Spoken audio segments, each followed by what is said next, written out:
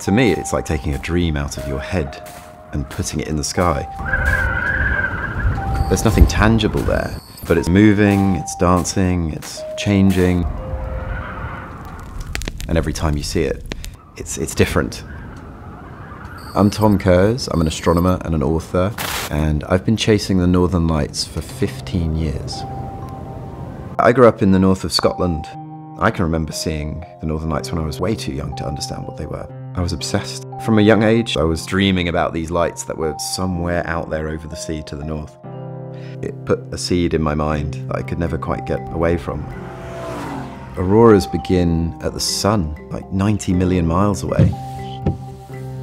You have to have that solar wind, the particles from the sun, and you have to have the Earth's magnetic field, and you have to have the atmosphere above your head. And it's those three ingredients that make a visible expression of something we otherwise wouldn't be able to see. It was like mythology to me as a child. It was why I wanted to become an Arctic explorer. You can understand what causes auroras, but you will forget that when you're looking at them. Because you just end up completely absorbed in what you're seeing. Sort of unable to process it, really. The aurora is different every single time. So naturally, it begs the question is this as good as it gets? Because once you've had several nights of aurora viewing, you are an addict. You just haven't admitted it to yourself. There's more to it than what you see because everything around you, what you feel, what you hear, that's all part of the experience.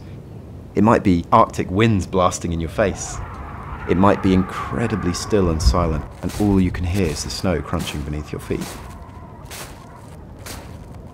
And it's important to feel it, because otherwise, it's no better than looking at a picture. The coastline of Norway is the best backdrop you could have for the Northern Lights. Islands, fjords, snow capped mountains. Taking the ships up the coast is an incredible way to experience it because you feel like a polar explorer. To stand there on the ship and watch the landscape go by, knowing that you're making your way into the land of the Northern Lights, it takes it into the realm of, of an expedition. So many people come back because Norway has such an extraordinary range of places to see the Northern Lights and such an extraordinary range of skies, colours of skies, colours of seas, colours of mountains. I don't feel like I've even scratched the surface of what's possible to see in Norway. I could spend a lifetime coming back to one place